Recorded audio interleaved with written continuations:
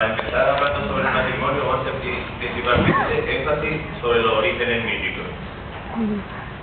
Los orígenes míticos de la celebración del matrimonio de Roma recaen sobre el rastro de las Sabinas. Rómulo y Remo, cuando conquistan la península itálica y fundan una ciudad, entonces deciden hacer una alianza. Ya varios pueblos voluntariamente la habían unido. Pero Ahora, como había déficit de género femenino, deciden mandar eh, mensajeros. Algunos pueblos le hacen caso, pero otros no le hacen tanto. Entonces, deciden hacer un banquete en honor a un dios. Eh, acuden los sabinos con sus mujeres y, y con el 30 años el banquete, el asunto se pone un poquillo, sube de nivel y empiezan a atacar a las mujeres. Entonces surge el papel de un famoso romano que se llamaba eh, una cabeza salvaje aparecido. Que parece que estuvo con una, pero como ya los romanos eran así, pues cuando a la atacaban a veían que una mujer se la acercaba y decía, ¿para quién es? Total, se acabó el banquete, los romanos volvieron a sus casas, los sabinos también, pero los romanos fueron honestos y lo dijeron a su a los, a los sabinos. Entonces, los sabinos se lo tomaron también y con Salio en la cabeza fueron a sitiar Roma. Entonces, bueno, ya Roma estaba sitiada, lo, se ponen las mujeres por ver y dice, si nosotros somos la causa de la guerra mataron a nosotros antes que quedarnos huérfanas y viudas. A los todos bien, los romanos también, y la paz, y se les une. Bueno, el matrimonio.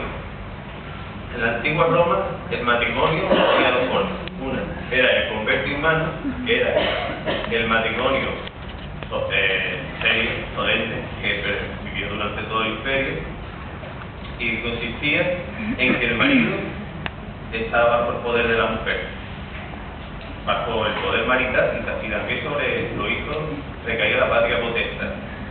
Este matrimonio tenía a su vez tres fases. La conferratio, que era un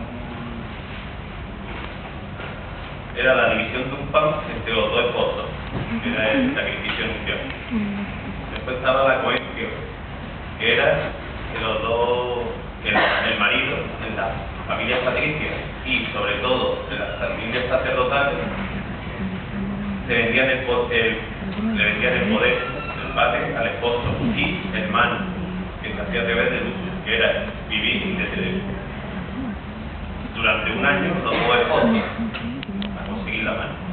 Después estaba el cinemano. Cinemano era la mujer estaba todavía bajo el poder de su familia, tenía los derechos sucesorios y también bajo el poder de del padre.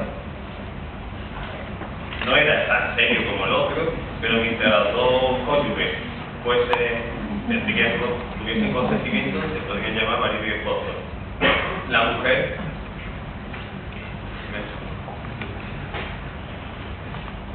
la mujer. El, marido les bastaba con que el marido intimase con la mujer a través de un esposo de un billete o en persona el connovio nunca estaba bien visto porque atentaba sobre todo sobre los pilares básicos de la cultura romana y la civilización e imperial. Y la, la segunda anuncia tampoco estuvieron muy bien visto porque la mujer, para ser honrada en los de hacer funerarios, tendría que ser univida. Los preparativos de la de la de la no era necesario que se hicieran tantas pompas, pero como Roma era tan era tan conquista y tenía tanta religiosidad, pues hacía. El día de la, el día de la boda se elegía entre, entre varios días que eran de, de malo augurio. No se podía elegir ni en mayo, ni en vez de acuerdo la segunda mitad de la segunda mitad de junio. En la la mujer con la mujer de, con, el vestido de la niña. Rinde le consagra a los dioses de la nueva de la nueva casa. Los juguetes de la infancia, se pone un velo de color naranja, se pone la túnica de la fraile. La, bueno, la casa se engalona, se ponen muchas florecitas, mixto, laurel, se sacan las máscaras funerarias de los familiares, el pelo, el pelo se se peinaba con una con las escrines, que eran se hacían unos moños y, iban por por mechones. Después iba atado por una lanza, que era el asta. El traje nupcial era una estola parecida de las matronas y se ponía el pelo del